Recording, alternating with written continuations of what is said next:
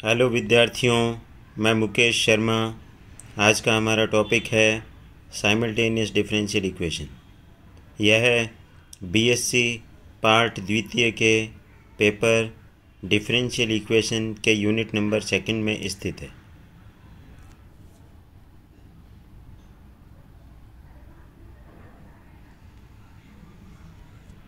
युगपत अवकल समीकरण। Simultaneous differential equation विद्यार्थियों, यह टॉपिक बहुत ही आसान है और आप आसानी से इसको समझ सकते हैं।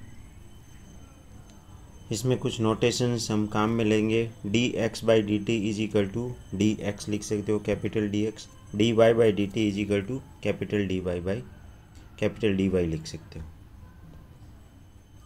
अब हम कुछ एग्ज़ाम्पल लेंगे जिससे आपको ये समझ में आएगी कि ये कैसे इन क्वेश्चंस को सॉल्व किया जाता है, कैसे इन डिफरेंशियल इक्वेशंस को सॉल्व किया जाता है। जैसा कि नाम से ही पता चलता है हमें साइमल्टेनियस डिफरेंशियल इक्वेशन यानी आपको दो इक्वेशन दे रखी होगी और उनसे एक्स और वाई के मान निकालने। आपको इसमें एक, जैसे एग्ज़ाम्पल नंबर एक दे रखा है सॉल्व हल कीजिए, और आपको दो इक्वेशन दे रखी है, एक तो ये और एक ये। अब आपको क्या करना है? इनको सॉल्व करना है। कैसे? देखिए, सबसे पहले solution the given equation can be written as ये लाइन पढ़ लिया आपने। आपको अभी हमने बताया था, इसको आप डी एक्स लिख सकते हो। आपको अभी हमने बताया था, इसको आप डी वाई लिख सकते हो। और ये बाकी है जैसे जैसे। अब आपने क्या किया कि ये इसमें से और इसमें से वाई कॉमन ले लिया ये आगे।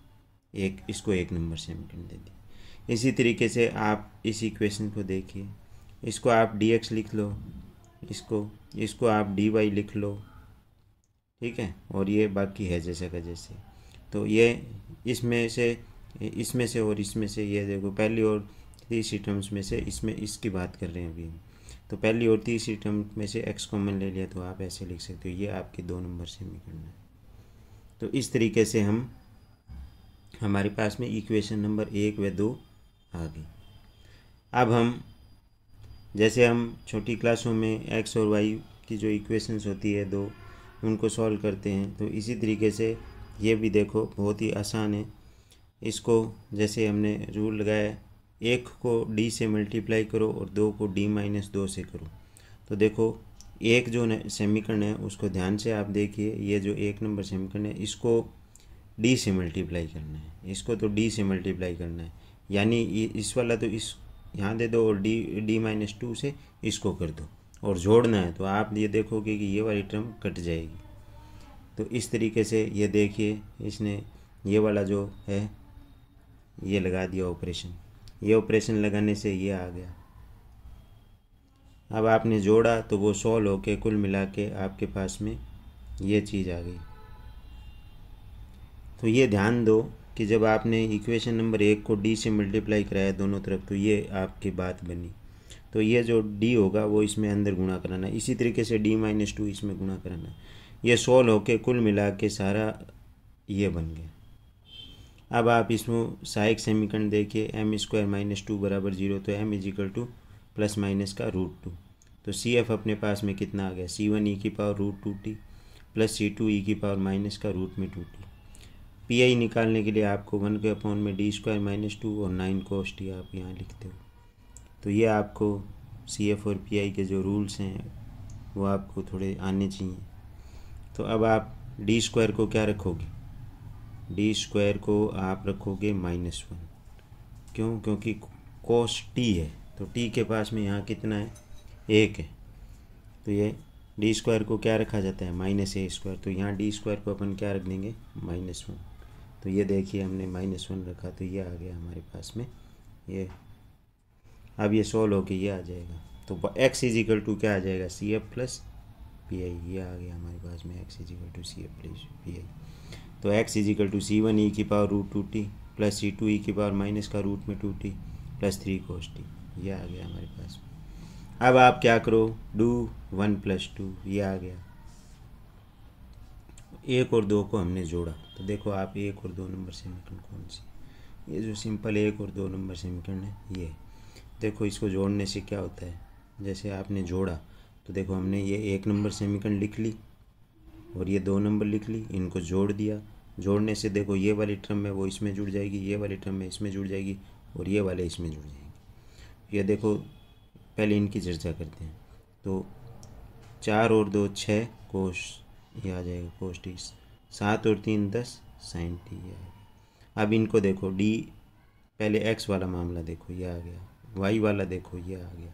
तो वो सोल्व होके कुल मिला के ये आ गया। तो अब ये सारा सोल्व होके ये चला गया। तो कुल मिला के आपके पास में ये आ गया। वाई का मान आ गया। देखो वाई का मान आ गया सॉल्व करने पे। डी एक्स बटा D T plus X minus three cos T plus five sine T ये आ गया। तो एक्स का मान आपने रख दिया इसमें प्लस एक्स का मान फिर यहाँ रख दिया, और प्लस फाइव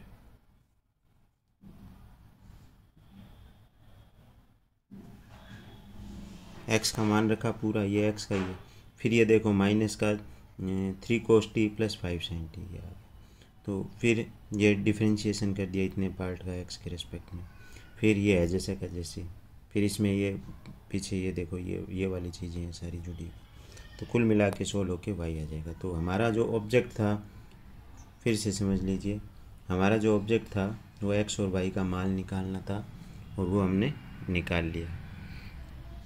तो इस तरीके से हम एक्स और वाई के मान निकाल सकते हैं। तो बहुत ही आसान है, आपने बहुत ही आसानी से ये क्वेश्चन कर लिया।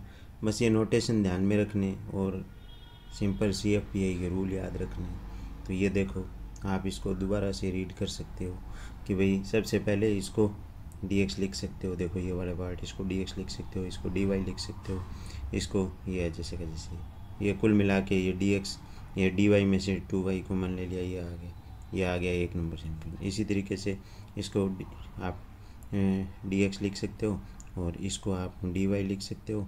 और ये टू एक्स है, जैसा का जैसे, और ये बाकी चीज़ है, जैसे कि जैसे। अब ये डी एक्स में से टू एक्स कॉमन ले लिया, ये आ गया, ये आ गया, ये आ गया, ये दो नंबर सिंपल अब अपन जो छोटी क्लासों में जैसे सॉल्व करते थे, किसी पार्ट को हटाना होता था तो वो वैसे सॉल्व करके हमारे पास में सीधी ये एक सेमीकंड बन गई ये वाली। इसको सॉल्व करने के लिए आप क्या करो एक्जुअल इक्वेशन सहायक सेमीकंड एम स्क्वायर माइनस का दो बराबर zero that is M equal to plus minus का रूट टू सी एफ़ आ गया आपके पास में इतना।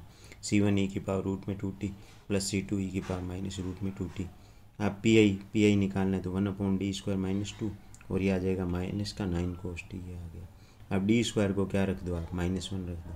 तो ये आ जाएगा हमारे पास में। यहाँ पर ये आ जाएगा सोलो के। और X equal to C F plus P I yes total answer आ गया। अब आपने क्या किया? वाई का मान निकालने के लिए देखो इसने क्या किया। वाई का मान निकालने के लिए दोनों समीकरणों को जोड़ा। जोड़ने से इसने ये देखा कि यहाँ कुल मिला के ये बच गया सारा। इसको आप ऐसे लिख सकते हो।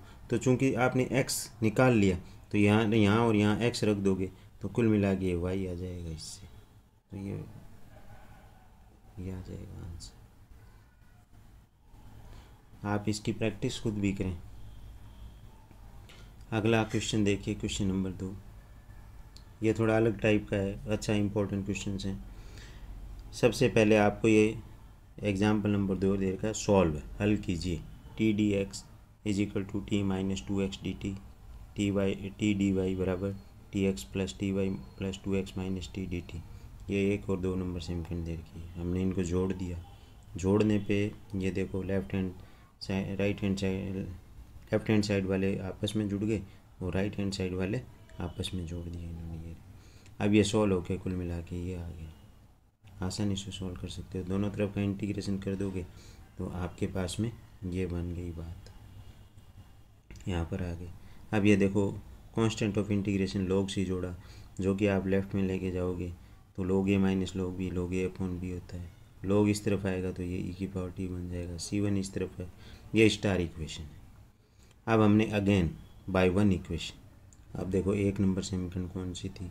ये देखो एक नंबर सेमीकंड ऊपर वाली, ये वाली, इसकी बात करते हैं। T d x is equal to t minus two x d t ये देख लो, पक्का कर लो। एक नंबर सेमीकंड लिख ली हमने, ये रही एक नंबर सेमीकंड डी टी का इधर डिवाइड कर दिया, कोई दिक्कत नहीं है। टू एक्स इधर भेज दिया, कोई दिक्कत नहीं है, ये आ गई टी से मल्टीप्लाई कर दिया, ये आ गया। अब आप जब ये इन दो टर्म को देखोगे तो आप इसको संयुक्त रूप से ऐसे लिख सकते हो। फिर आपने क्या किया? डी टी का डी टी इधर भेज दीजिए। इंटीग्रेशन करोगे तो आपको क्या मिलेगा? डी से टी ये कट जाएगा और ये बन जाएगा कुल मिला के। तो सी टू जोड़ दिया आपने इंटीग्रेशन एक्स चाहिए तो टी स्क्वायर का भाग लगा दिया। ये चार नंबर समीकरण आ गया। अब चार से एक्स का मान अगर अपन इसमें रख देते हैं स्टार इक्वेशन ये। तो अपने पास में किसका मान जाएगा? वाई का मान जाएगा, जो कि हमारा आंसर है।